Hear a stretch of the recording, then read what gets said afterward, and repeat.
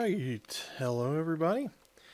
James here again for Feed Your Beast. And today we're going to be talking about furnaces. Yeah, I know it seems a little basic.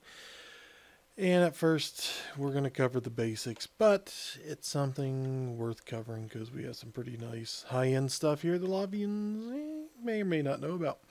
Uh, right off the bat, you have your typical furnace, you know, first 10 minutes of the game type stuff. Uh, use coal, charcoal, coke coal, whatever type of, you know, wood. A lot of stuff you can burn in this to smelt your items. Um, you know, first couple things you're going to be smelting is probably going to be your iron, gold, um, you know, wood the charcoal, so on and so forth. Great little start.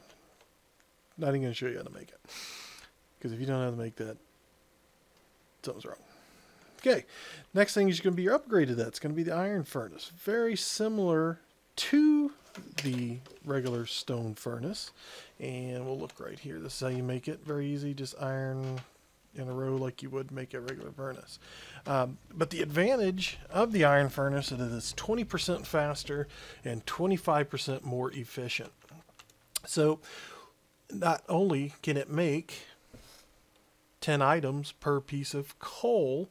It is also, instead of taking 10 seconds per item, it takes 8 seconds per item.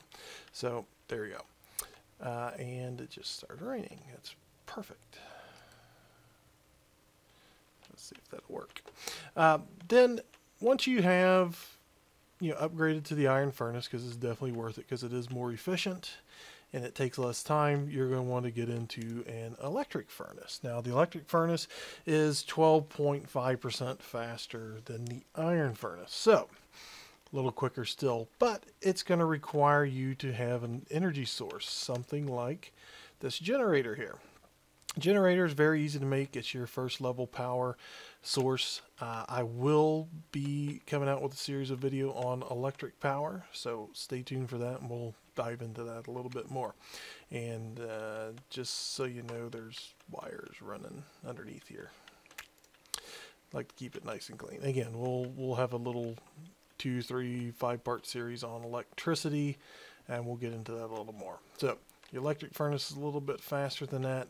The nice thing about this, unlike the other two, is once it's done smelting, it stops using energy. With your first two types of furnaces, um, if you throw a stack of coal in there, it's going to burn it out, whatever the last piece it was using out. So it is it can be kind of wasteful.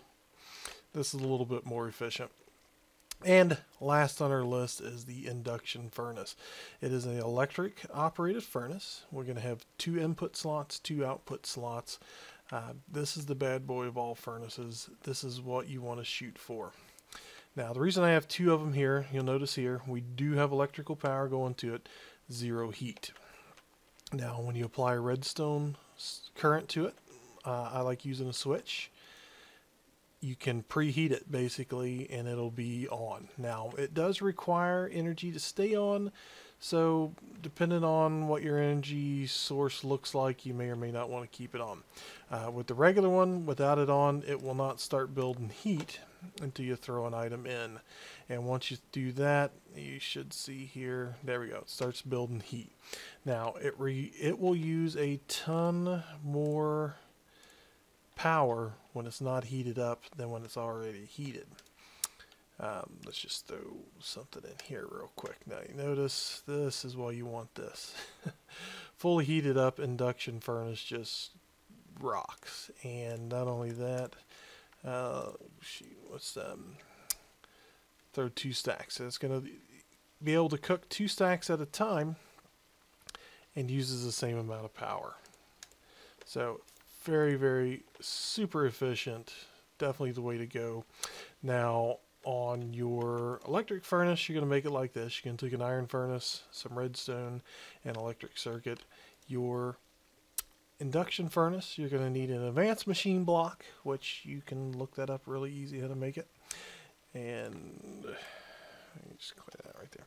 Uh, and copper ingots and an electric furnace. Uh, in the case just in case you don't know how to look up how to make things, what you're going to do is just type in in the bottom here. So let's just even do a partial search. Uh, advanced machine block. Now you can click it or you can click R over top of it. When you do that, it's going to give you the recipe on how to make it. Uh, you're going to need advanced alloy, carbon plates, and a machine block. Carbon plates are easy enough to make. Advanced alloy, you're going to need a few machines, uh, compressor, and a rolling machine. But once you're up to this point in the game, that should be pretty simple. So there we have it. Quick explanation of furnaces. Um, if you have any questions about these, let me know. And I will end this with saying I do know there are some other type of furnaces. What I wanted to cover here was just the ones uh, that are in the Industrial Craft mod. Uh, once I get a little bit more into the Buildcraft and a few of the other mods, we'll cover those furnaces then. But until then, thanks for watching.